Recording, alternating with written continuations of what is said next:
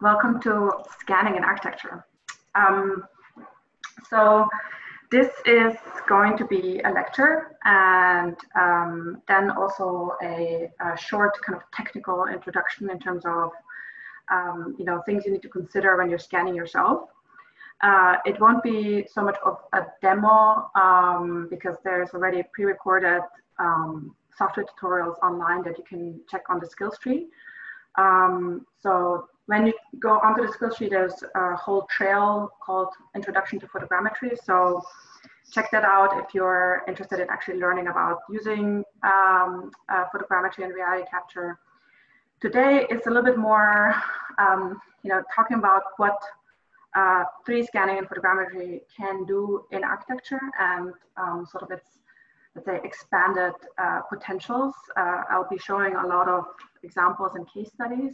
Um, I'll be talking a little bit about the history and kind of where photogrammetry comes from. Um, and finally, again, sort of just, just talk kind of uh, a little bit general about, about technical principles.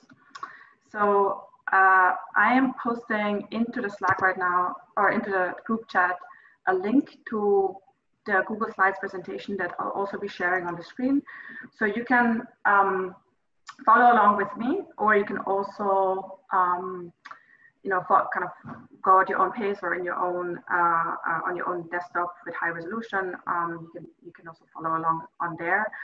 And I have so most of these um, uh, images have links on them. So you can just click on an image and it'll take you to a link that will show you more information about that specific uh, project or company or you know whatever I am presenting in there. So um, yeah, um, that's just kind of in terms of technical uh, technicalities. So uh, let me share my screen with you so that you can we can start the presentation right away.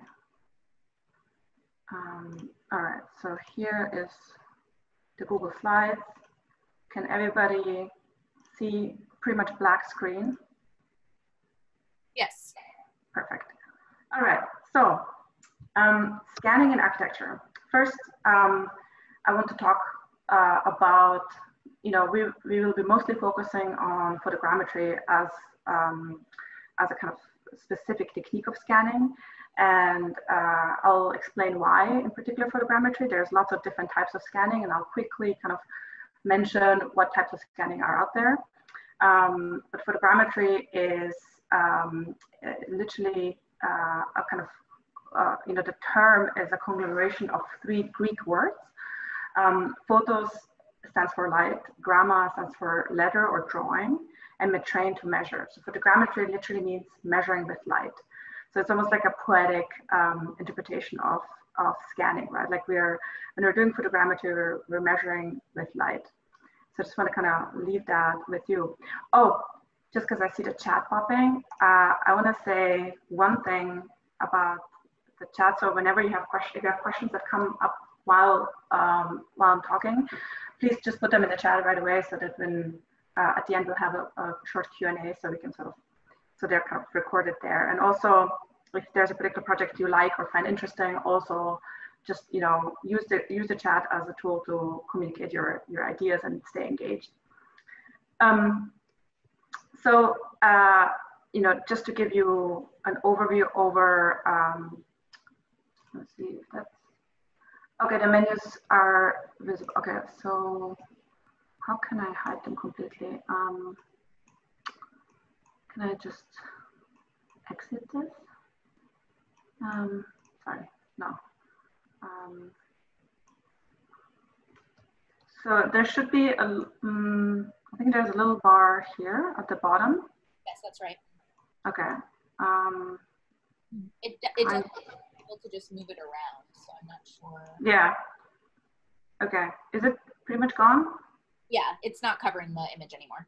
Okay, great.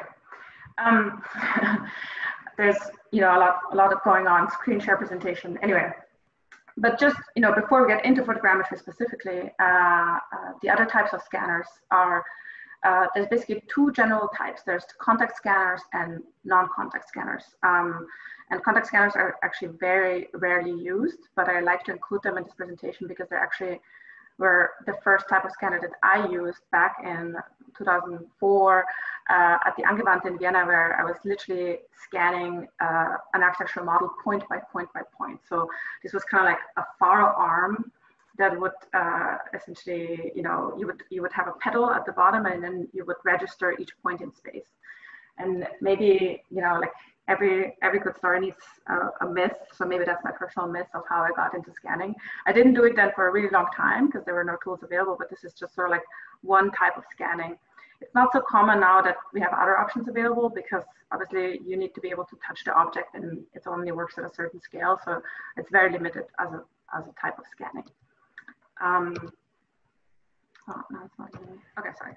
Uh, the other type of scanning is laser-based 3D scanners. That one's super common in architecture. And the way it works is essentially you have a laser that shoots out, um, you know, a, a, laser beam, and then it calculates how long it takes for that laser to hit a surface and then come back.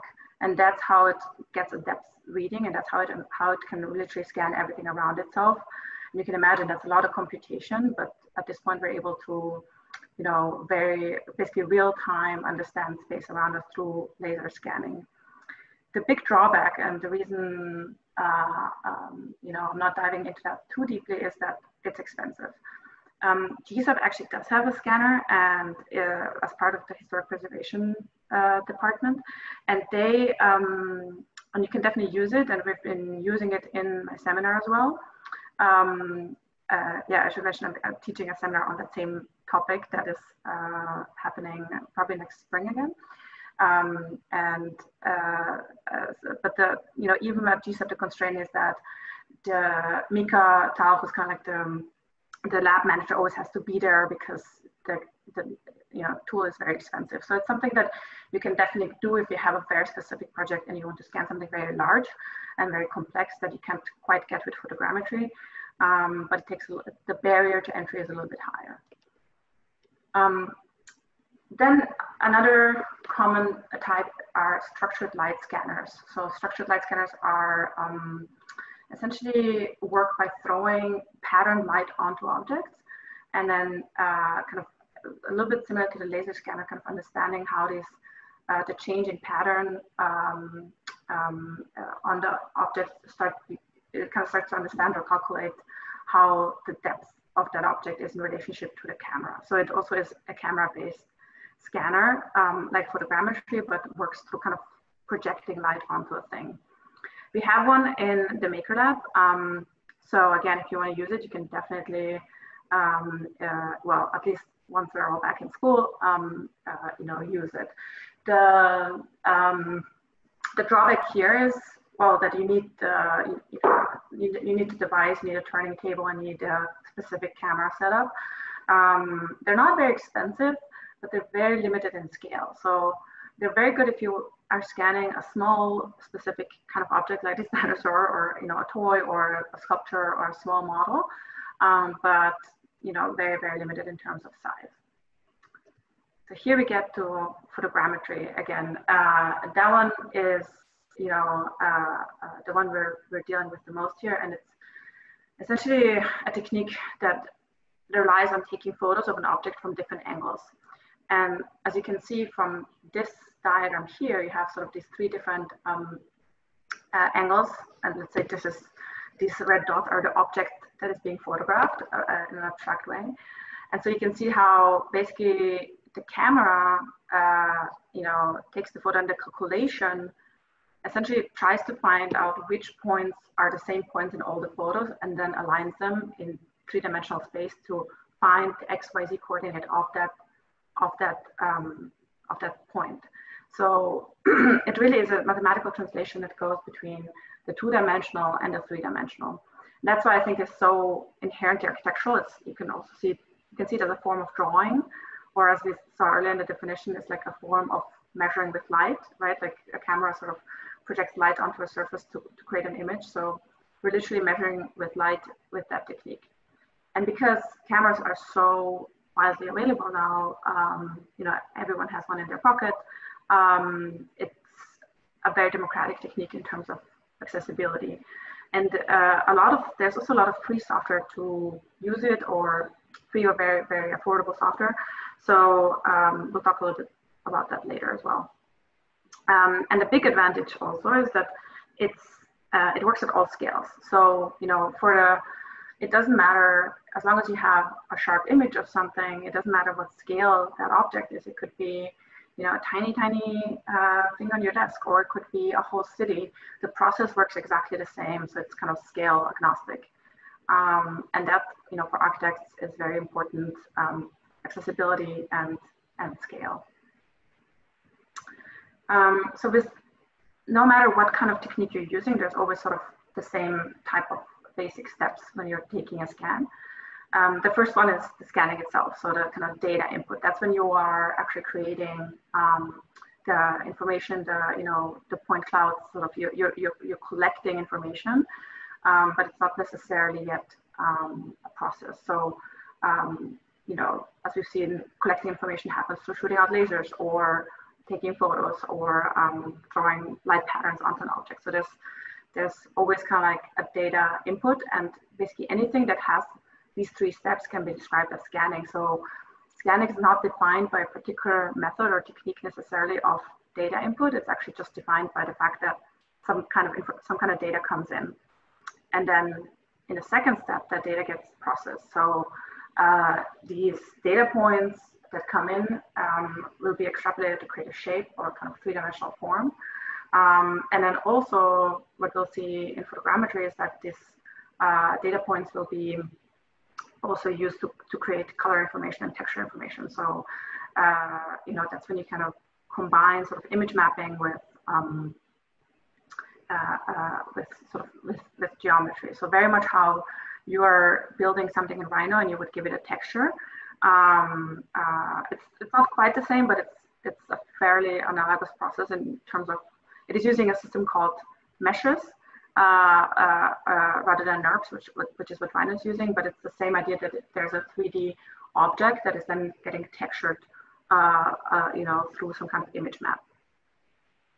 So then once that is processed, the third step is data merging. So usually when you're scanning something, you're not scanning uh, everything at the same time. It's usually you're scanning like, you know, either it's because you don't have access to it all at the same time or because the scans don't all align as they should.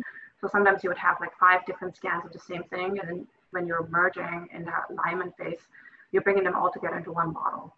Um, for example, an example that I'll show later is you could do, you could scan the exterior of a, build, of a building and scan the interior separate and then when you're merging or aligning them, then you can bring them all together. So when you're scanning your prototypes, for example, from last week, you know, maybe you also want to scan certain parts separate on purpose and then align them later. Um, so these are really the three steps that all the different techniques that I just showed have in common.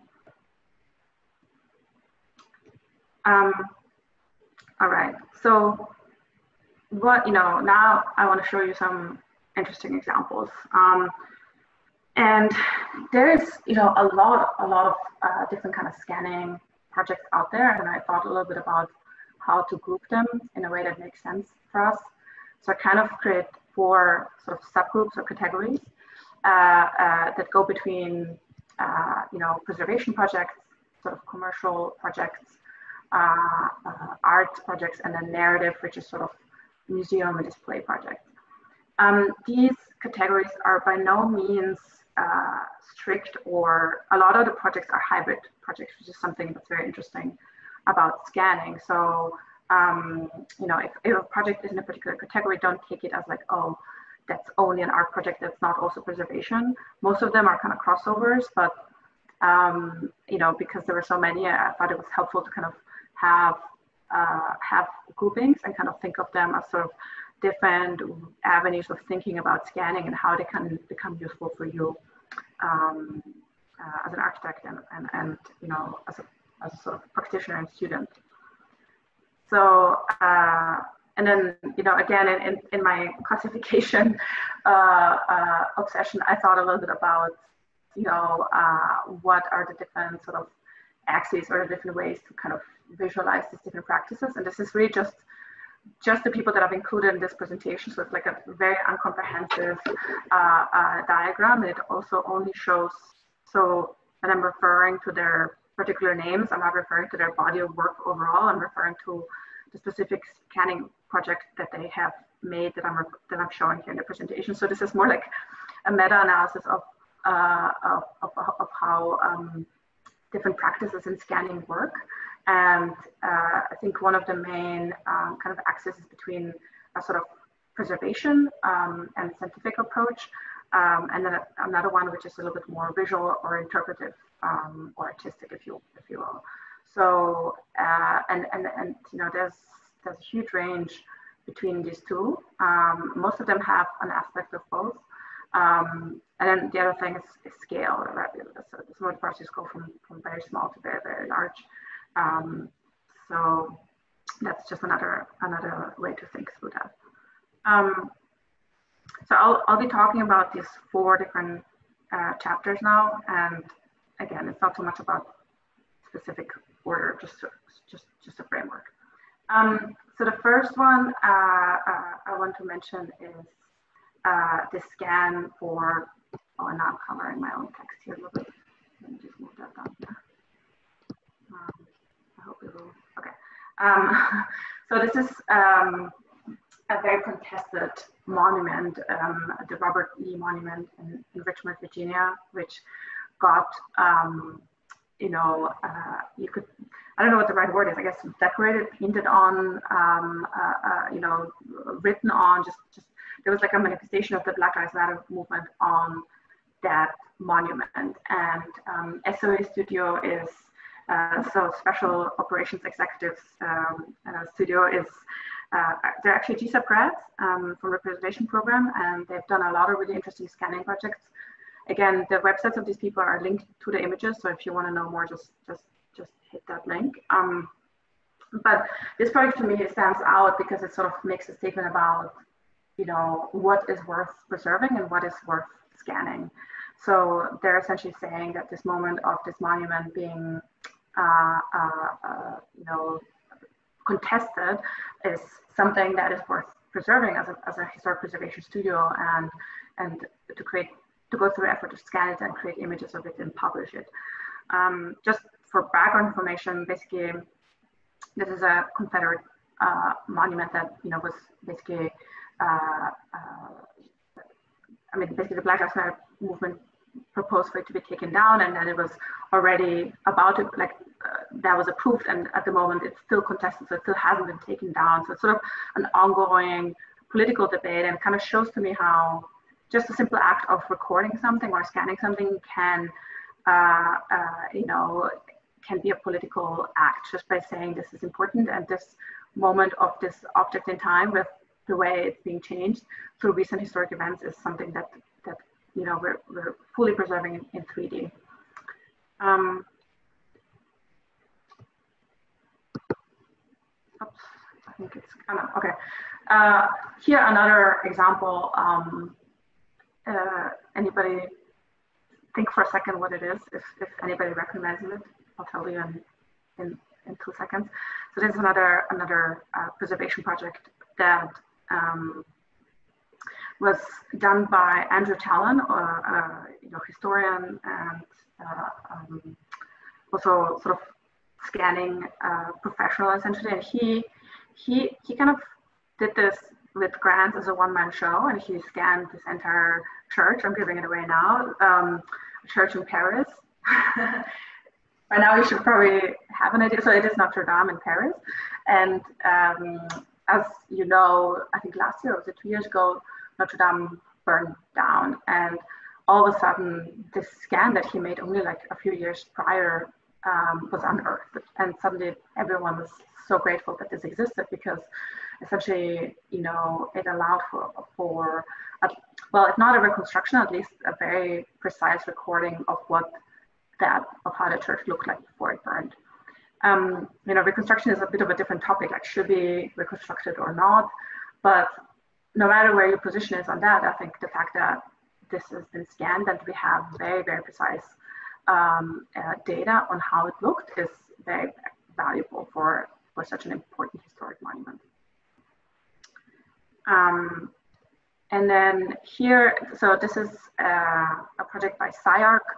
So they're really like the the main um, you know firm that works in uh, or kind of like the, one of the most prominent firms that, that does large scale preservation projects around the world. Um, when you go on their website, they really have um, an impressive range of projects, um, and they've been doing that work for I think 15 years or 20 years almost. So it's they're kind of like the establishment in 3D scanning.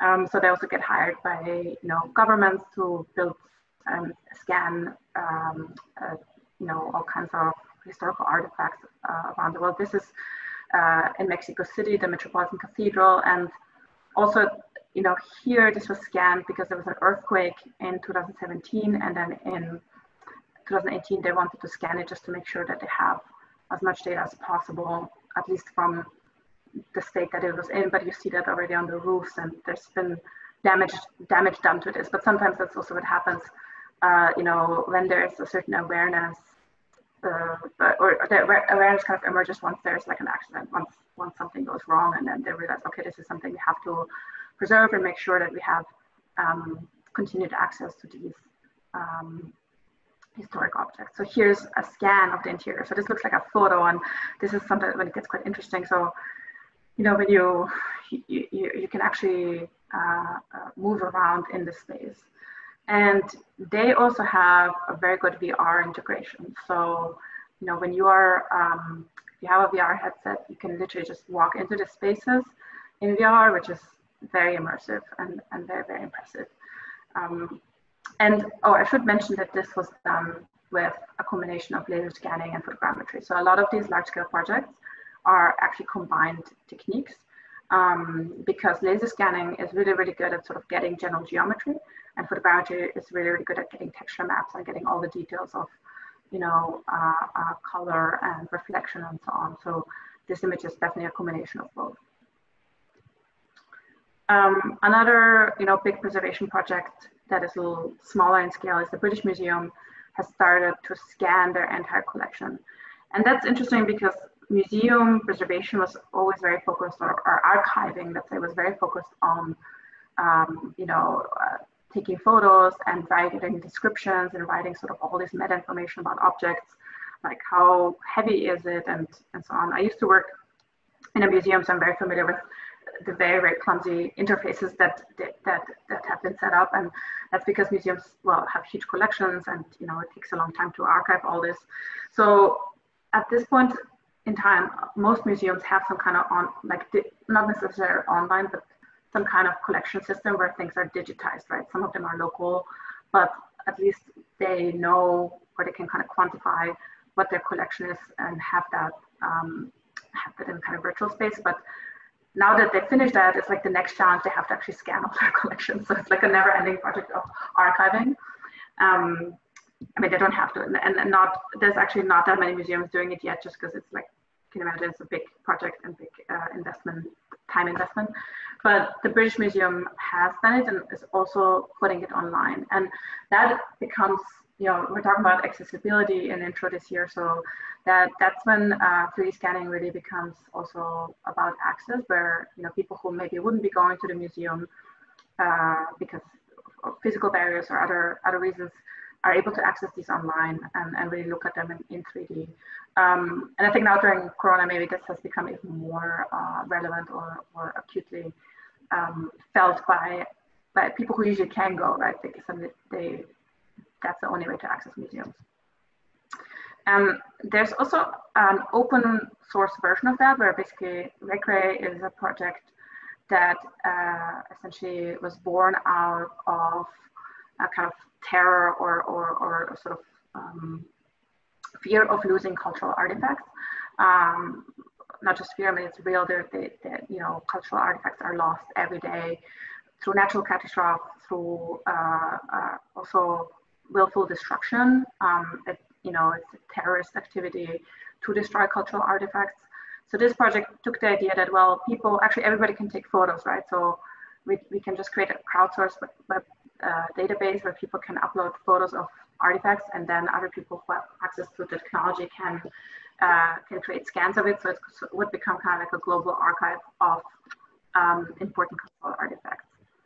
Um, and here's an example of one object that got reconstructed that way. So um, the lion of Mosul was, um, you know, a, uh, a, very valuable artifact that was destroyed by ISIS uh, in the Iraq War in 2003, I think. And uh, basically, there was no no documentation for it except for photos that have been taken before by visitors and uh, you know very limited archives. And so uh, this group kind of reconstructed, and then on the right you see how they put it into a virtual museum. So now it's sort of like an online version, and there was also a 3D printed version of that. Um, and there is also, you know, uh, critique of that approach. So um, uh, there's this artist called Morehshin Allahyari, and I'm probably pronouncing it wrong, but um, she's essentially, uh, you know, working on on a, on a similar project in terms of like this, uh, in terms of scanning or sort of uh, recreating objects that have been destroyed by ISIS. But she's um, she's sort of taking a critical approach to it in terms of, and I included this quote here about how she's going about um, about that work. So she talks about how she spends a lot of time modeling these objects and how she really feels like she's taking care of them and, and, and sort of, you know, has like a very close relationship to, to these objects. Um, um, but also feels protective of them as cultural artifacts that have a long history. And so uh, I just want to read part of this code. When I say protect, I mean that I want to protect them not only from ISIS, but from Silicon Valley, from Google, from all the tech companies in the West, from all the white men and their colonial, colonialist technologies. So it's, it's, it's actually a direct critique of, and there's a really great essay that I recommend reading that is linked, I think, on the second page here, um, where she talks about, you know, the, this idea of violent care. So on one hand, you know, uh, these big companies like CyArk and Google Arts and so on are coming in uh, to protect, but they're also doing that on their own terms and from their own lens and often uh, as a way of what she calls digital colonialism. So they kind of come in, they take the scans, and then they take the scans back home to their own place to, you know, uh, to make sure that they're being that they're safe. Um, so it's really important, I think, for us, you know, thinking about scanning, it's an important thing to to see to see this side um, and to kind of understand that nothing is neutral. Like you know, I think we've talked about that in the social in the in the social media lecture, and here it is. That scanning scanning even seems a little bit more innocuous. It's sort of like, oh, well, you're just recording, right? But the act of recording is never neutral. You're always making a statement, and you're always doing that um, as you know uh, a third body or third party that's that's recording something something else. Um, and uh, just another quote from the essay when she talks about the word align, um, and you know, literally photogrammetry is for scanning is about aligning different uh, uh, data points. Remember, the second point was alignment. The word align means to form in line, to fall into line, to adjust or form to align. It's about becoming one line, a straight line. So she's basically kind of saying that you know there's a certain conformity in terms of the way that the way that this kind of scanning process uh, works and the way that Western companies are coming in and and uh, making every, everything align according to their to their ideas. Um, so, so, sort of like a flattening of history and like, well, this is all cultural artifacts that belong to all of us. So we need to make them accessible. So similar, this idea of open source, of cultural heritage, you know, um, another Google Arts is putting it out in terms of you can consume the content on the website, but the rights are still in the end with them. So she's kind of asking a question, what, what does it mean if all this data is with a, one private company, company and you know how uh, uh, is that really is that really equitable and open or is that um, uh, also a form of colonialism in the end? So um, with that, um, actually the next example is, uh, you know, talking about commercialism is Google Earth. So Google Earth is of all these examples that I'm showing, definitely the biggest one, uh, literally scanning the whole Earth. Uh, and again, using photogrammetry uh, on the way to do that. So if, if you have never used Google Earth before, please do me a favor and just, just after this lecture, spend, you know, no, not, you need more time. You need to take like a day off on the weekend and just like spend a whole day, day zooming around and it's so fun. Um, uh, it was my favorite quarantine activity when I couldn't go anywhere, was just to zoom around in Google Earth. Um, but again, this this little technique we're talking about, this niche interest, right, is actually literally defining our whole world in terms of like understanding how we, how uh, in, in terms of three-dimensionally mapping our world. And obviously before that, even the two-dimensional mapping was also done through photogrammetry. So, uh, you know, just just to kind of understand the scale at which this happens is, I think, really important. And here you see, so there's Google Earth VR, which is even more crazy. Um, and here you see sort of like a random castle uh, in, in VR that is just, you know, scanning quite a lot of detail. So uh, again, um, this is very, so talking about that scale between preservation and not, and, and, and, and you know, sort of uh, less scientific methods, I think this is an interesting in between because obviously it's a huge archive, but it's not necessarily uh, primarily preservation or scientific minded. So um, its purpose in the end, because it's a private company, is you know financial gain. So it's sort of like an but then on the way they are archiving and kind of creating all this in, all this data which again you know is problematic because maybe some some people or, or countries don't actually want to give that data away but they're using satellites to access that data and kind of like not really and the whole the whole goal is to scan everything to scan the whole world in as much detail as possible. I mean that's google's project in general right? So so you know here kind of 3d scanning takes a potentially dark turn because they're not necessarily asking for permission but just assuming that it's okay to scan everything they want. So again uh, you know a contentious and interesting uh, topic in terms of like how far how far can you go? Um, you know, there's other companies, this is just an example, there's lots of sort of like more commercial companies, uh, more specifically to large scale construction. So these people, what they're doing is kind of site surveying. If you ever work on like a really large scale kind of urban, urban scale project, you might be working with something like that. So they're using drones and you see the pattern here. So these are drones, this is all sort of a drone taking a photo in very irregular intervals. Um, and they're basically scanning the site every few days or every day just to kind of map changes. So um, it seems like a lot of effort, but it's the most effective way to actually map changes across a large site over time. So, you know, in the past, they would maybe build things like that, and it would be hard to kind of know exactly what was happening with such big masses of land. And so this is this is kind of like what they're specializing in. Also using using uh, photogrammetry mostly here actually.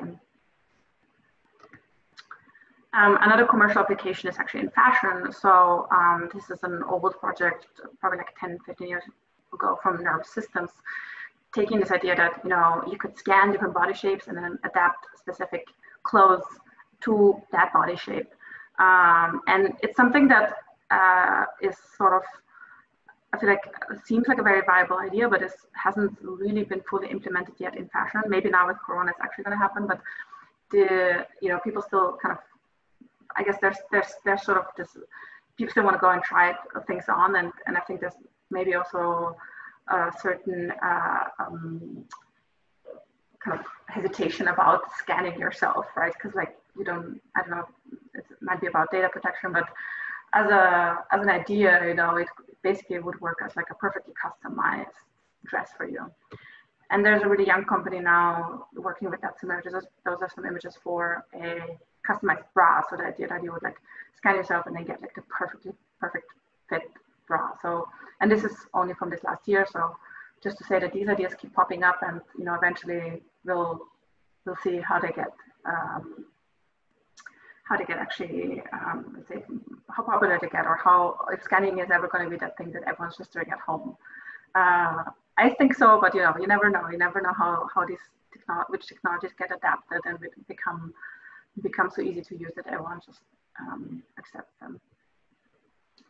Okay, so some examples from the art world. There's actually been, in the last few years, a lot of people investigating ideas about scanning and, you know, topics of preservation. And uh, Oliver Laric is a really interesting German artist who essentially kind of convinced museums that to go in there and scan their artifacts and then put them online on his website as open resources. So his project is sort of like on one hand, he recreates his own, he creates his own recreations. You see these, these uh, here, and then here's another example. Sort of like playing with the materiality. You know, you, you can see that that was a marble sculpture that is now kind of deconstructed through different materiality, giving it sort of like a different contemporary aesthetic.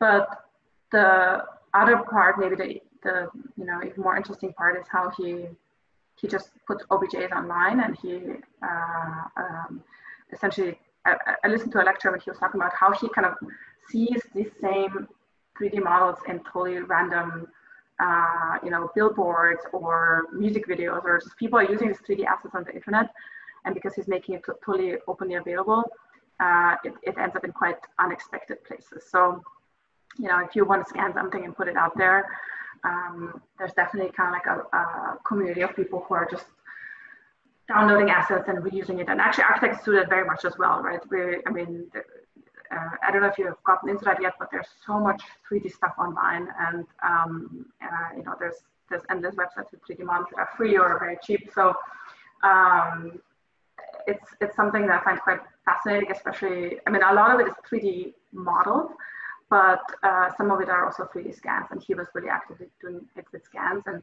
he also got into legal trouble doing it because the, um, um, you know, museums, I think, I don't know if it was like super clarified that he was going to actually publish those online. So that's when we get into the question of copyrights, like how, um, you know, if you scan something and, uh, you know, again, like similar question to the digital colonialism, like who owns that data? Like, is it, um, is it something you can just use for your own project? You need to ask permission. Um, questions all, all become relevant. Here, the artist, New York-based artist working with scanning, Sophie Kahn. So she works, as you can see, with the glitch and the kind of expressive power of the glitch. And you know, when you will create your replica, your your your scans of your uh, uh, prototype, um, you know, you might also get glitches, and you might choose to um, actually use them as a strategic tool to make part of your design. Um, obviously, this is a slippery slope, and but I think in her case, um, you know, you can you can see that it's a very intentional use of these errors or mistakes. It's kind of like using it as sort of expressive uh, potential, and those are actually uh, this project is called the death masks. So I think they were actually cast of, uh, of dead people, if I'm not wrong, and, and sort of you know, memorize, memorizing um, the face of somebody through that that technique. And she's been doing really interesting projects, kind of pushing scanning to the limit. So she did recently an event where people were moving and she was scanning them while they're moving. Again, sort of like almost like trying to produce glitches, right? It's not, it's sort of kind of this artistic interpretation, I guess, where you're taking, uh, uh, and architects do that too very much, right? Like we take a technique that's meant to do a certain thing and we subvert it to create a different kind of affect. Um, and uh, that's something I, you know, encourage everyone to try and be aware of when you're scanning stuff. Here's a project um, by Claire Hentschker, so uh, also New York-based artist actually. We're here in the hotspot of 3D scanning. Um, and she did this absolutely fascinating project where she went into malls so uh, abandoned malls across America. Sorry, let me correct this. She didn't actually go there. She found the videos of these malls on YouTube and then ran the videos through photogrammetry software and created this very eerie images and videos kind of like floating through uh, uh, through this abandoned mall uh, photogrammetry sets. And uh, sort of like, you know, a very long video, takes like a few, I, I don't know, hours, but definitely you know, an hour or so, and it's sort of psychedelic because it's you can definitely recognize a lot of elements, but because these videos that she's using were not meant, they're, they're, they're just people who went, you know, I guess um, uh, in there just to kind of like scope them out and, and look at them. Uh, so they were not meant for, for, for photogrammetry, so they kind of, uh, you know, obscure and, and, and sort of hide a lot of information that usually you would try to capture um, but because these spaces are so derelict, it sort of fits with the general mood of the space. And she did the same thing with the movie The Shining. And that's something crazy when you think about like basically any movie in history, you could use, you could, you know, run it through photogrammetry software and you would essentially get like a 3D model of that, of the scenes in that movie. Um, obviously it works really well with The Shining because it keeps, you know, the movie is all about one building. And so, so there's lots of different scenes happening over and over again in the same spaces. But, you know, you can imagine that this model is extremely distorted, um, uh, but still in some corners and aspects actually quite accurate. So it's sort of like, uh, again, this is very uncanny 3D model talking about this, this uh, uncanny movie. So it's, um, again, a very beautiful, you know, interpretation of using, using, using the glitches, using all the mistakes that happen as, uh, as a tool of expression. Um, yeah.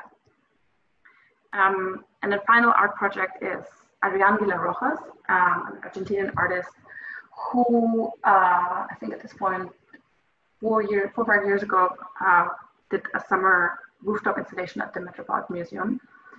And to do that, he scanned uh, objects from the collection and he also scanned people. So here you see a vase that, you know, is some kind of, some part of the Met's collection. And this is an actual person that he scanned. Uh, I think this might have been a GSAPP student because I was I was I was recruiting people to be scanned, and I think she she ended up being scanned. Um, but point is that you know his work sort of brought together things that could never actually physically touch. So suddenly in this sculpture, and then made it into another sculpture that you couldn't touch. That was the irony, I guess. When you came up there, there were guards, and people obviously wanted to touch these things because they were. So this was a whole kind of like uh, installation of like six, seven of these tables on the whole rooftop uh, and people wanted to touch these sculptures and and you know you are not allowed to but at least in the physical uh, manifestation of this sculpture these things could could be touched um, yeah all right um, so the next chapter of projects are kind of in between or hard to define i mean they often they would also they could also fall into the I think the art chapter and the narrative chapter are very overlapping, or maybe maybe could be the same one. I'm not sure. But this one is a, um, a project by an architect, actually by Sam Jacob, uh, a London-based architect, and he he's actually written and thought about a lot about scanning and copying and and, and you know, ideas of reproduction. Um, so there's some interesting essays there to be found there, but uh, this was uh, part of an exhibition that was at the Venice Biennale in 2016 that was put on by the Victoria and Albert Museum. Uh, and the whole exhibition was dedicated to scanning and replicas, which, you know, uh, was obviously for me really fascinating that, that, that this topic that felt always very niche suddenly was on center stage. And there were, you know, a series of scans and ways of basically, you know, museum approaches to scanning, kind of related to things we've seen but his project was actually to scan a refugee sh shelter um, and then rebuild it on site or kind of like, you know, have kind of a cast of it. Yeah. I'm not going to comment on like, you know, it's a, it, it's just another, another interesting project that, you know, I think exists at, at, sort of the boundary between documentation, art. Uh, it really is, it really is somewhere, somewhere right, right in between uh, uh, and critical theory all, all combined. Um, here, another uh, example. So it was the Diller Scofidio + Renfro designed an exhibition at the Met um, called, about Charles James, a fashion designer who created these very volumetric dresses. And they were trying to kind of uncover what was behind the structure of these dresses because you know they, they these dresses have a lot of hidden pockets and ways of of sort of being built that is um, really not apparent when you just look at the dress. So they created this uh, 3D models of the of the dresses and had all these animations playing, um, kind of uncovering how the dresses work from the inside. Here you see like a lot of layering going on, but then they also did um, a set of, of X-rays and X-rays. I'm only touching on that here, and that's also why I'm including the examples. X-rays are not really scan. I mean, they're adjacent, scanning adjacent, and they're you know you could say they're a form of scanning, um, but not really the main the main topic here. But I think it's an interesting approach also, you know, towards the, scanning through something, or not just not just scanning the surface, but actually kind of uh, showing the, the hidden structure and the hidden the hidden um, yeah the hidden materials that are behind the dress or hidden infrastructure. Um, and finally, another sort of project that's hard to place um, in, a, in a you know in the most interesting way in a, in a uh, is Eyal Weizman's project. So uh, he um, is also, you know, an architect, but kind of works sort of at at the intersection of a few different fields. And uh, this is actually a scan of a former concentration camp in Belgrade that later got turned into a sort of Roma um, housing project. And the proposal was to make that, to turn that into a museum.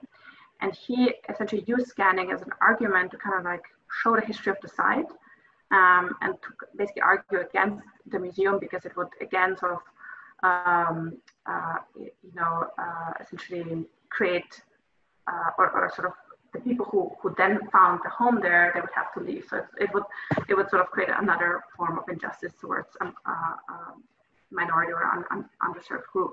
And so it, yeah, I think these are you know Weizman's work in general with scanning is super interesting and highly political and um, and also also very interesting in terms of representation. So here you can see, um, you know, how he sort of is drawing this out these hidden structures underneath the main building through heat maps and kind of uh, showing sort of like a, a, mixture between a scan and an X-ray and, a, and different modes of representation kind of all combined and collapsed into one. All right. Um, I just have to open the door because it's getting really hot in the office. One second. okay, this is better. If you see me overheating, that's because my, um, my, my, my, the little meeting room got really warm. All right. So I know this has been a lot of references and projects, but I want to talk briefly about some work that I've been doing at GSAPP and some kind of like personal scanning projects uh, that I've been working on in the past few years. Uh, and then we'll get into, uh, into the technology, just very, very briefly in technology. So uh, I kind of came across scanning, you know, really, uh, I would say by accident, but it wasn't this really like that I, that I wanted to become a, the scanning person, but it sort of grew over time as an, as an interest. And actually a lot of it got developed also uh, at, at because we were doing uh, and also working at the Met, kind of working with artifacts and sort of thinking about how to represent artifacts, existing artifacts in virtual space. So the kind of that translation between sort of the physical and digital always uh, was incredibly fascinating to me. And so uh, here I'm showing a few seminars that, um, uh, or work from seminars that I've been working on in the past few years. So this was in last spring 2019 uh, with a group of students we went to the intrepid which is uh, an aircraft carrier on manhattan's west side. And we were allowed to have or able to have access to the sick bay which is a usually inaccessible space. Um, so it's sort of like a um, um, you know uh, the build so the building the ship is sorry it's not a building the ship is a museum these days. Um, but the um, uh, uh, so most of it is accessible, but then there's basically a few floors that are kind of like too hard to reach because there's this really narrow stairs. And so the museum was interested in sort of thinking about how we could display these spaces that people can't go inside. So we went down there and photographed it and rebuilt them in 3D and created sort of like a web app that allowed people to kind of, you know, in 3D go in and explore those things. Um, and here you see some of the scans that students made and this was, you know, also really hard spaces to scan with very uneven lighting. So the results were really, really quite fascinating. Examples. And the students were developed uh, apps and a bunch of sort of different um, uh, sort of prototypes that helped to experience the space. And uh, the final review actually took place on the ship uh, with you know a bunch of staff and, and different reviewers coming in and sort of uh, enjoying or certain enjoying. I mean, it's, it's, it's, it's actually a pretty heavy dark history, but sort of like being able to kind of access these spaces uh, uh, through sort of virtual narratives, but still being on the ship itself. And then we were all able to actually go into the space. All right, so this was a more uh, recent project. So that happened just this spring. And I mentioned that the school has a laser scanner. So this was actually scan a laser, laser scanner scan of an abandoned pub in uh, downtown um, downtown New York. So this was a space that um, uh, basically I'm I'm part of a gallery collective and we're doing exhibitions in abandoned retail spaces. So uh, this was our site at the time, and so with the students we went in and scanned that whole space. Um, and we used both laser scanning and photogrammetry on it. Um, and create, you know, the whole plan was really to create uh, projects around that. And then it was basically, we managed to get that scan and Corona happened. So it sort of didn't, you know, couldn't really finish the project. Unfortunately, this is the space, uh, just a photo of the space itself. And here you see some, some uh, detailed scans of the space. Um, uh, how they were, yeah, um, kind of like capturing the kind of uh, details of the surfaces uh, uh, of that abandoned pub. Sort of like really, really looking closely at things. Um, and that seminar kind of pivoted in the end, uh, you know, and again, the flexibility for the helped here because everyone had to be at home. So we ended up working on, uh, everyone's scanned their interior. And here you see some of these examples um, where people, you know, chose an aspect of their quarantine and displayed it through this three-dimensional scan. So uh, if most people, it was like a living room or a bedroom. Um, and we made the scans and then uploaded it to the web, but also included animation and sound. Um, so again, the link is on the um, on the presentation, so you can go check it out and you know uh, maybe get get get an idea of what what we were doing because it's sort of these little they're basically little 3D scenes that allow for for narrative. So this was a student project um, uh, that essentially talked about the, you know the student having to move out of the dorms in in, um, in uh, Morningside Heights, and then so he had to kind of pack up everything uh, and move to his new place. And this is sort of all his belongings kind of uh, visualized in this and kind of documented again in uh, in this three-dimensional way. And you know, of course, I'm dreaming that one day some researchers will find this incredibly useful. The fact that we've archived these specific moments uh, in, in in 3D. So we'll see. We'll see if that. Uh, at least for right now, uh, at very least I can say it was therapeutic. It kind of helped people to, you know, work through the. There was basically nothing else people could think about, so we kind of change the projects to, to be working with that. Um, and here, a, a project I've been working on since last December with a friend from Argentina. Um, we, so she's doing her PhD uh, working on these abandoned slaughterhouses in the Argentinian Pampas uh, by the architect Francisco Salamone. Um, he built all these structures, around 30 of them in um, throughout uh, the 1930s in in in um, in a very short amount of time, and they're kind of like you know disregarded by architecture history, I would say, or people generally are not aware of them.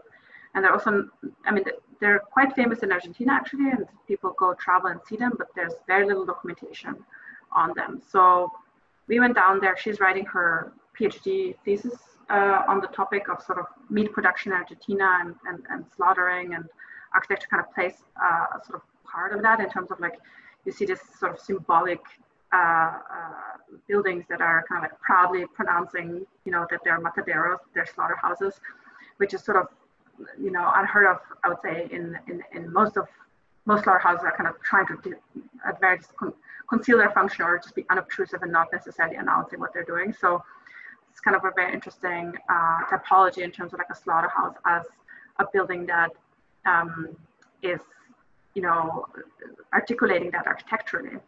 So what we uh, did is, you know, went down there and visited all, most of them, the ones that we could, not all of them are accessible.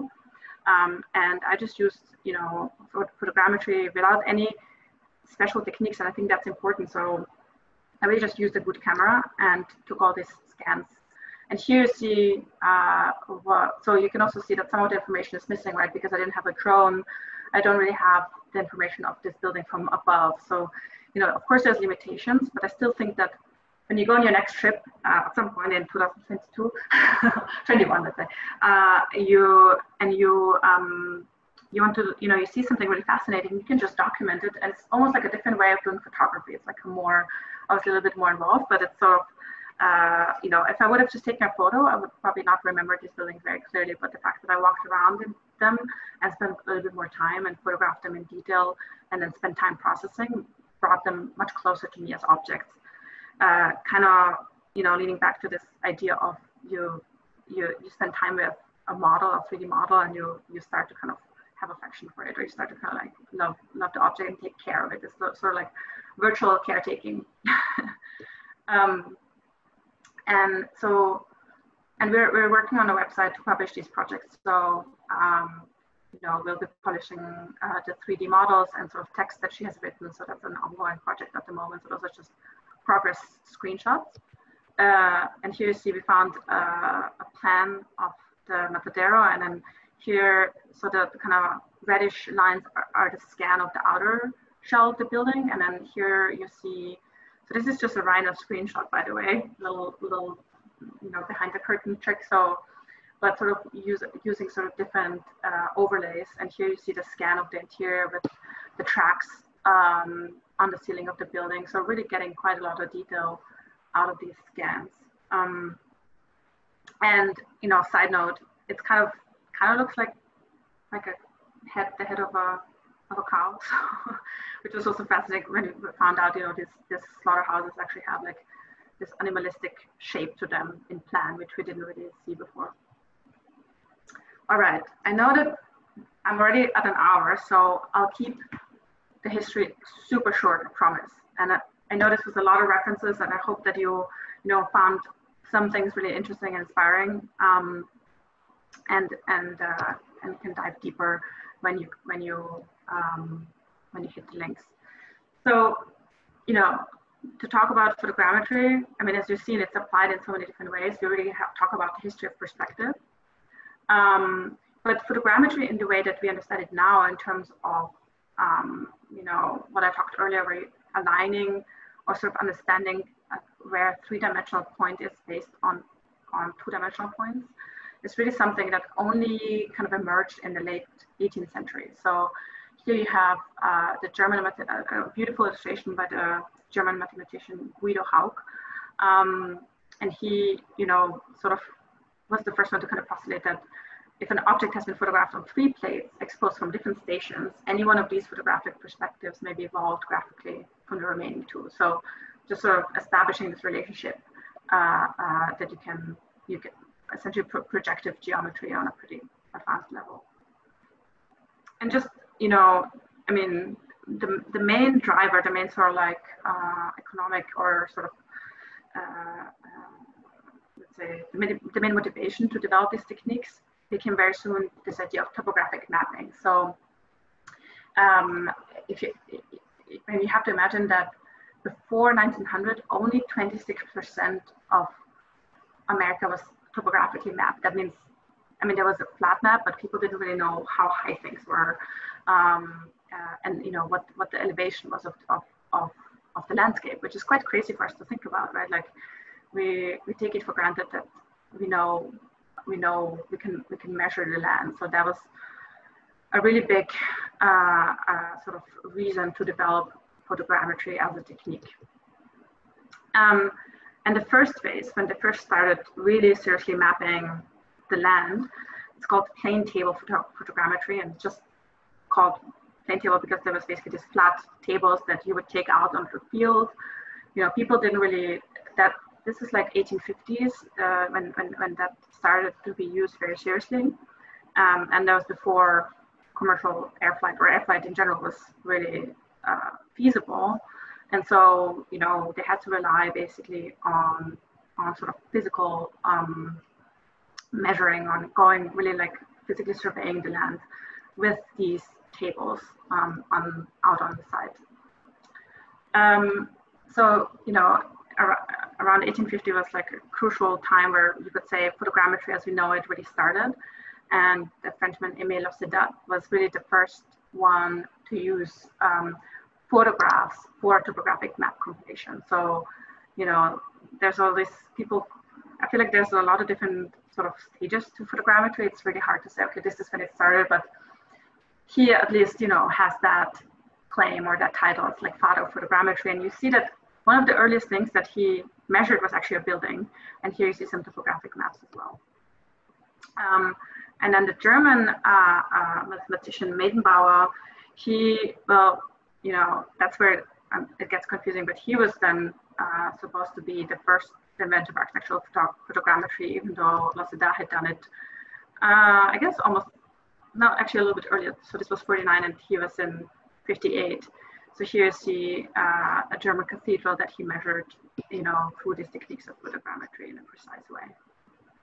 Um, and uh, you know, uh, because there were no airplanes, people found different ways to go up into the air. So one of the first, the earliest ways of uh, essentially, you know, creating topographic maps was through air balloons. So there's this guy Nadar. He was um, actually an artist and cartoonist, uh, but then got really into photography and then ended up sort of being the first person to really take photos from uh, from an aerial perspective. And you see how physically involved that was. Again, sort of like getting up there. I love this picture of him in this little basket, just getting raised up uh, in a balloon to, to take photos. Um, you know, kind of closely, close, closely after, um, towards the end of the 18th century, the, in the US, James Fairman uh, was sort of advancing uh, photogrammetry, and he he also this was also based still on the hot air balloon uh, on taking photos from hot air balloons but he invented a specific kind of camera that would allow to take better pictures from up there. So you know photogrammetry as we know it now in terms of large map making really depended on two developments which is like the development of cameras and the development of air flight and so you can see you know throughout that time how these two things had to come they had to come together to really allow for large scale mapping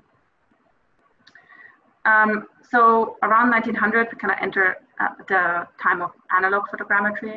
So that's when, you know, photography became widely available um, and sort of air flight also increasingly, uh, increasingly became available. And also there was, you know, beginning of the 20th century, essentially First World War and then Second World War, it became more and more important to map territories. Um, uh, not least also for colonial purposes. So this is actually a German uh, autocartograph. So this, these devices became more and more uh, complicated and, and, and sophisticated in terms of like mapping, uh, map, map, mapping mechanisms, literally machines. Um, so this is already 1971. We know fairly, I mean, not that long ago, uh, essentially. Uh, here you see um, this this pretty intense machine, the aerocartograph, uh, you know, helping to scan the Hoover Dam in preparation to build um, to build a dam.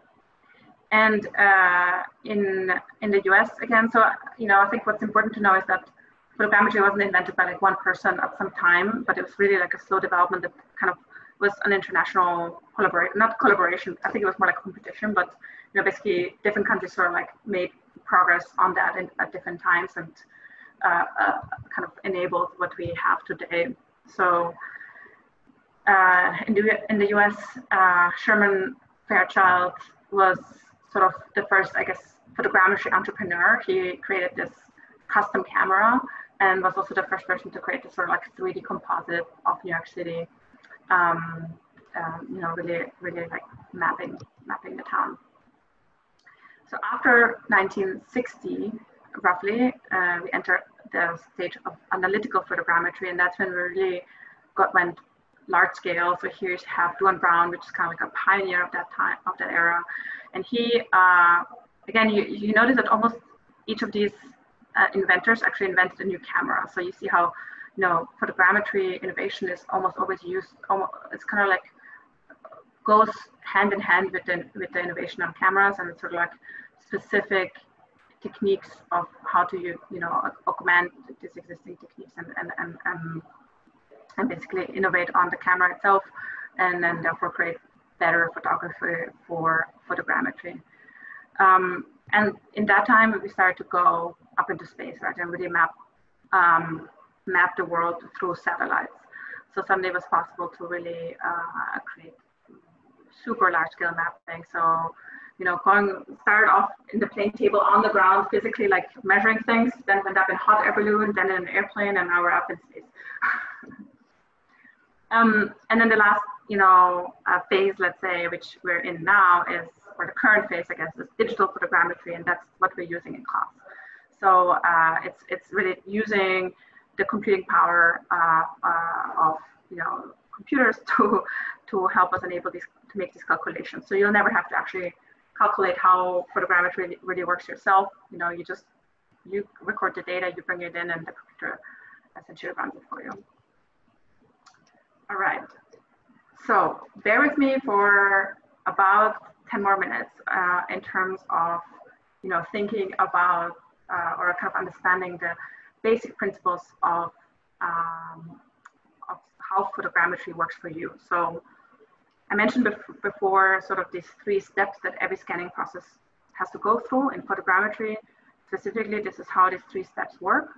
So you have, you know, as a first step, the collecting data part is when you're taking photos, quite simply. And there's some instructions on how to do that. But there's generally two big options. Um, the first one is you're using your phone camera, simplest one. Um, if you want higher resolution details, you know, using a professional camera is definitely better. Um, the second uh, step is then to process these photos and to create mesh models out of these photos. So this is, uh, remember the, the, kind of alignment phase where every, everything comes, uh, comes together. So um, for this, there's two softwares that I recommend. There's lots of different software out there, but the main one that we're going to be using in class is Reality Capture. Um, and it's really, you know, I guess the state of the art software right now. Um, it has uh, a kind of pay-per-input model, so you're you can use it and practice on it for free, and then you only pay for exports. Um, 3DF Zephyr is also a really good software, um, kind of similar similar to reality capture in many ways. So, you know, it's just it's a, a, bit of a matter of preference, but you can also try that. And I think it's free up to 50 photos. You can actually process it for free in there. And then there's a ton of different apps on your phone. I've tried a lot of them. They're okay. You know, they're not, I mean, if you really want to just test something really quick and you want to play with it, go ahead, definitely. And also there's some iPhones and Androids, different apps. Um, but you know, if it's something you want to do, want to use, you want to export meshes, you want to use it for an architecture project in some way, either as a site survey or as a you know part of your design in some capacity, I really recommend going through either reality capture or 3DF Zephyr. Um, finally, uh, you know, then once you have the mesh, there's like the third step, which is editing meshes. So here you um, you, you, you basically have to kind of be very careful about mesh density and uh, you know how how uh, heavy your files are. Uh, if you want to 3D print your mesh, then it can be quite dense because you know you probably want quite a lot of detail in it, but not too much because then the file will crash. Uh, if you're using it for uh, uploading it to the web, you want it to be super, super light and work with texture maps to kind of create detail and so on. There's a lot, lot of nuance on there, um, but the point is there's basically a whole different array of software you can be using in that last step. Mesh Mixer is a really good one. Uh, it helps you to kind of process meshes. Um, it you know has kind of like a sculpting tool where you can make corrections um, and and so on. 3D Max is also very good. You know, it's a classic mesh modeler, so it allows you to kind of like edit vertices, delete stuff, and so on. Blender is free and also very good software. And then Rhino is actually probably the least ideal one, um, but you know it often ends up being the last step because at least in my workflow, Rhino kind of like is at the end because I use Rhino for a lot of other things. So if I combine a mesh model in the end, it, it ends up in Rhino at the end, but it's actually not really the best software for editing meshes, just just I'll just say that in a general way, and we can we can talk later about like the details of why.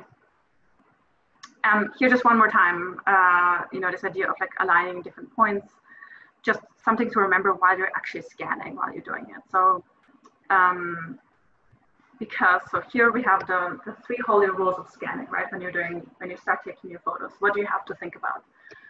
The first, number one rule is you have to have lots and lots of overlap. So, um, you know, because if you don't have overlap between the images, so if you, if you take an image from this angle and one from the other angle, it just won't, the software will not be able to align these two images um, to find the third point. So you have to always make sure there's lots of overlap. And the recommendation for overlap is around 60%. So it's kind of like when you're shooting a panorama, you know, you kind of, you, you want to go along an axis and you want to sort of move slowly. So it's the same way with photogrammetry, but you just take like a photo um, every, every step of the way. The second rule is, you know, take good pictures. I guess that one's a little obvious, but if you have really blurry pictures, photogrammetry won't, won't work because it won't be able to align um, various points. So you want to really be, you know, take that extra time and make sure your picture is sharp. Um, honestly, that is a bit less of a problem with phones um, because phones at this point, you know, are very good at focusing. Um, if you're working with like an analog camera or, or even a digital camera that's like a proper camera, uh, it can actually be a little bit harder. I mean, the final result will be better and sharper, but you have to kind of play around to make sure you have a sharp picture.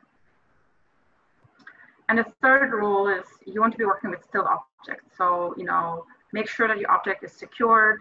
It's not gonna move in the wind or slight, you know, if you're if you're scanning a person, it's quite tricky. You know, they have to be absolutely still or otherwise, again, the images won't be able to align uh, into a three-dimensional model. So uh, this one sounds simple, but it's actually sometimes harder to achieve than you think. Like you have to definitely make sure that your object is not moving.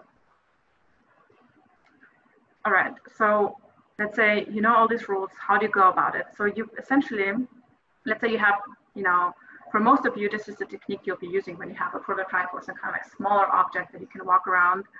Um, you're using something called convergent axis capture. It means mentally, you kind of draw a central point of your object, kind of like a midpoint, and then you just walk around it in an even radius and you take photos at regular intervals.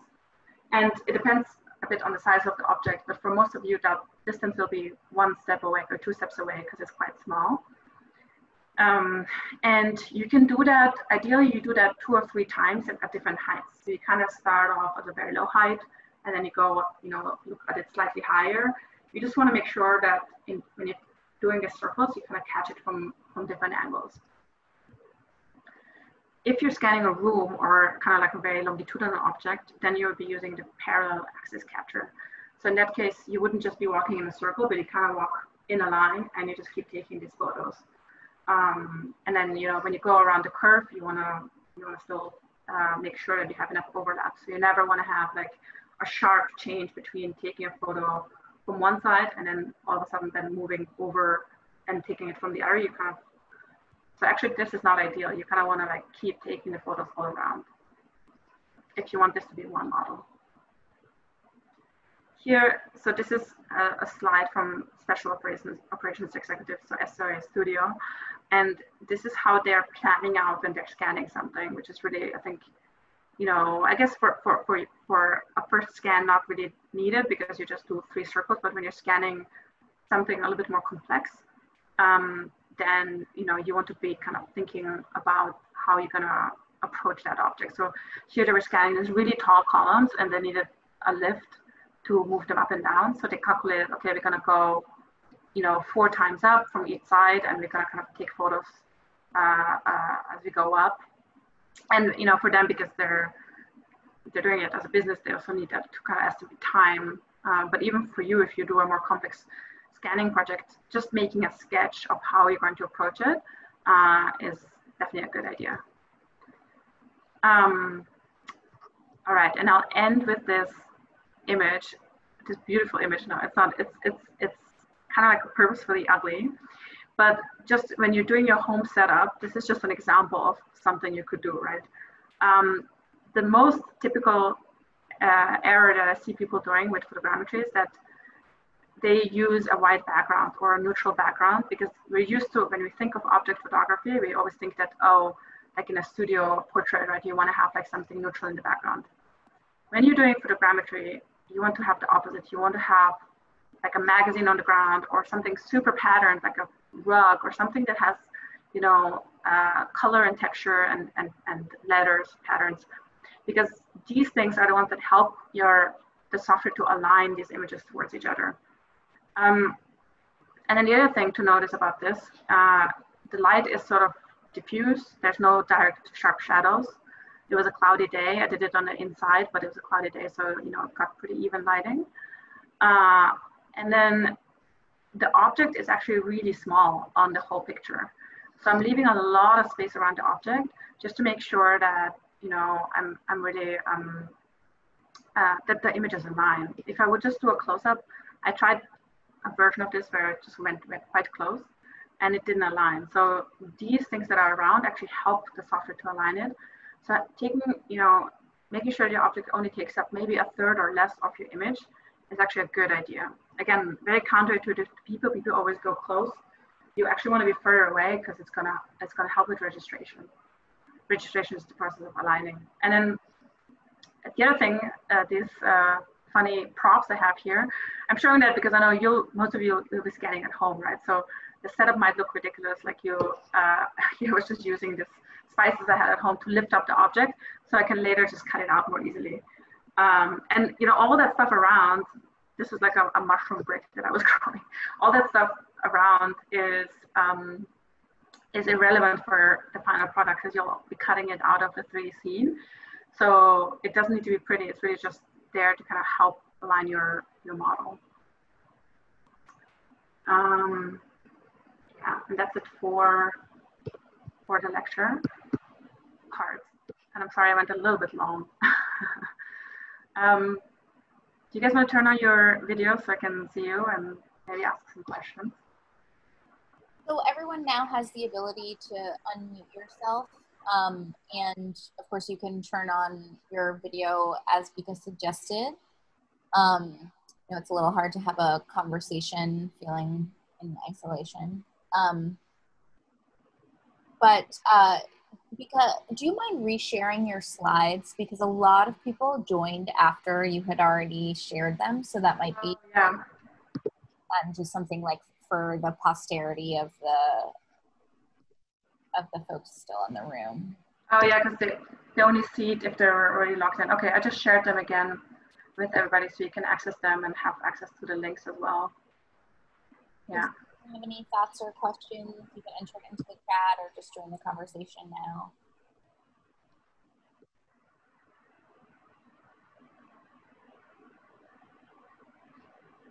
I'm sure there must be something. How um, is there anything you you liked or thought was interesting you can also just post it in the chat if you don't want to talk in the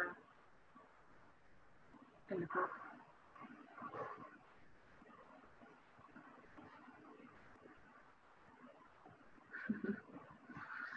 it was a long lecture, so. Oh yeah, yeah.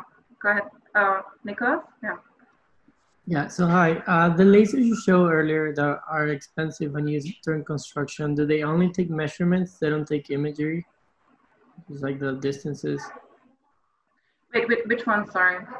The ones that people using in construction that you said they were very expensive. So um, you need to uh, have the um, uh, manager with you or something like that. The ones with a tripod on. The ones with the tripod. Let me find you the slide.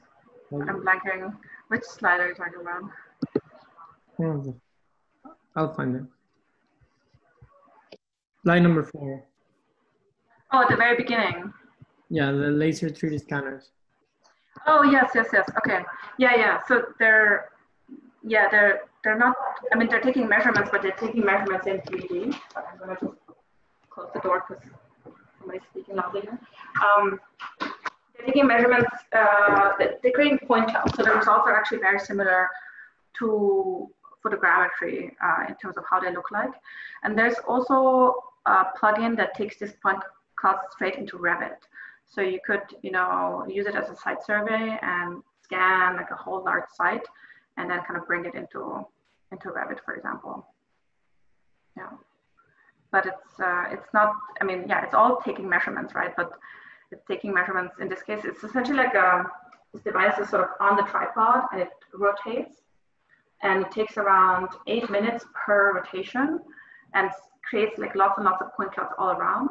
And then you move it over a few meters or a few feet, um, and then it does the same process again. So for that image that I showed on page, um, you know, of the of the pub that we scanned with the students, page 45, that was taken using a laser scanner, and what you see is sort of, you know, a very dense point cloud that was the result of that scan. Uh, Michael, did you have a question? I saw your hand up. Uh, yeah, I mean, it's a very practical question as an one intro students, but in terms of like getting a picture of our object um, and kind of propping it up, is there, do you have any advice for that? And, and like, could there be problems if it's kind of the way it touches the ground and that kind of thing? Yeah, I know that a lot of you have, um, you know, some kind of body armatures. So I would say if you have a mannequin, that would be ideal, but you can also create something. Some of my students have like just stuffed something in there to kind of, you know, like foam or something soft to kind of keep the shape. Um, or you could also ask somebody to model it for you. Um, uh, but then, you know, as I mentioned earlier, they have to be very still. Yeah. Okay, sounds good. Thank you. But I would err on the side of, uh, you know, I, I think putting a person in is a little tricky because you'll always kind of see, the, it depends a bit on the project, but I would say in most cases it's probably better to keep it abstract because you want to probably use it in a slightly more abstract way in your next step. Yeah. That makes sense. Yeah. Uh, we have a question in the chat, which is any good method to edit, simplify the output mesh? Yeah. Um, so essentially the best way is to actually simplify it already early when you're doing the scan because uh, specifically in reality capture there's actually a simplify option um, and then the reason to do it early is because if you do it before creating the texture then the texture will be optimized towards the kind of low resolution mesh and it still will look really good so if you have a very high resolution mesh with a high resolution texture and you export it then you know, when you downsample, downsample the mesh, then the texture might not look as good later. This is just, uh, yeah. But, and then the, the other option is if you already have a high resolution mesh exported and you haven't, you know, there's no way for you to access uh, the original file, Mesh Mixer is really the, probably the best software to reduce file size or to reduce mesh uh, output mesh size. Yeah. Um, yeah, go ahead. Um, I've seen some of them. They look kind of flat. Not not on the slides, but like his, uh, before. How do you make sure that your model doesn't look flat? Like the walls don't look flat and the objects in it. Is that because of the shadows, bad lighting, or? Oh, how to make sure the, the actual output, the 3D model doesn't look flat? No, like let's say I scan a room and then there's a light switch or a painting, they usually blend in flat with within the wall. How do you make mm. sure they don't they don't look like that? They actually look. Mm.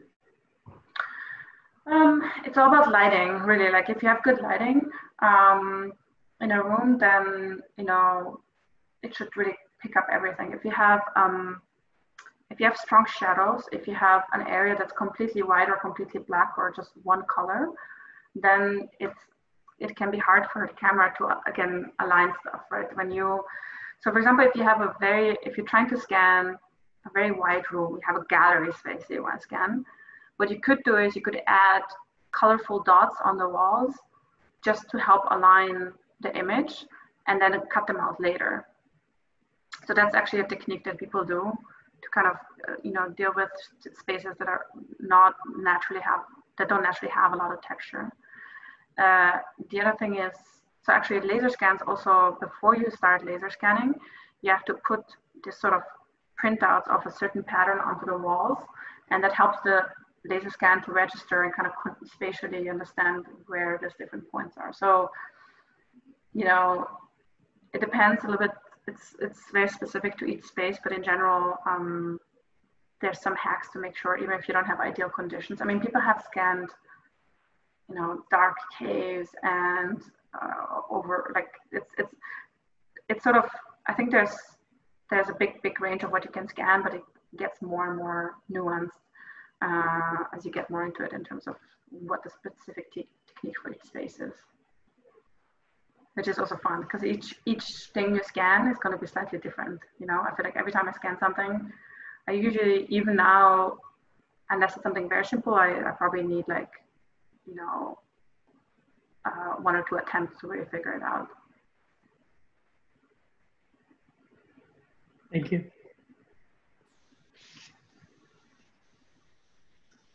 Kevin, you look like you have a question. Oh, sorry. Yeah, there's one in the chat, but um, Okay. I can go now. Or just, I guess, just real quick. Do you have any? And it's another practical question, but do you have any recommendations for scanning items that are not particularly solid? Like my machine is like a bunch of spindly, wiry things. There's a lot of like open space between objects, and every time I've tried so far, it like kind of comes through, but not super successful. I don't know if it's just my lighting or I'm not taking enough pictures or, or what the problem is.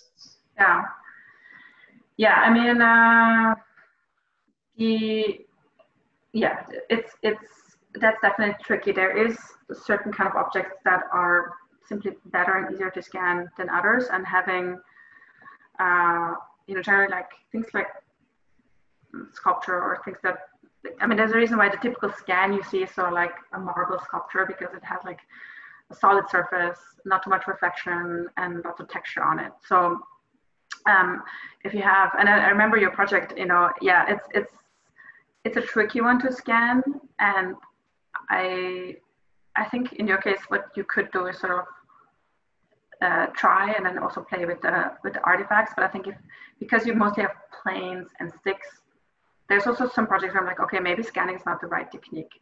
You know, you could also just just uh, it's just if you if you have very rigid geometries, like lots of squares and lines, maybe it's, it, there's a different measurement technique that might be better. That said, um, you, there's still, a, I've scanned quite tricky things and it's the same rules as for everything else. So if you have, you know, uh, if you have like lots of patterns in the background, even like a skinny thing or skinny or very thin surface can come out quite nicely. So um, some of the scans that I've done in the Pfeil Arsenal were like thin, paper thin sort of surfaces that came out and they worked out. But I think because the surroundings were extremely textured. So yeah, I would I would try, you know, it's also quite a big big object. So try to move away from it, make sure the whole object is in the frame. Mm-hmm. And you know, probably outside would be the best way to do it and, and pick a space, maybe throw a carpet underneath or something like that. Okay, thank you. Something with a lot of contrast to the object so that the camera can kind of understand, um, you know, where your object starts and where it ends. Um, so Yipeng just followed up. Uh, is there any good method to turn the scan object, the scan mesh to editable mesh, like quad mesh in Rhino?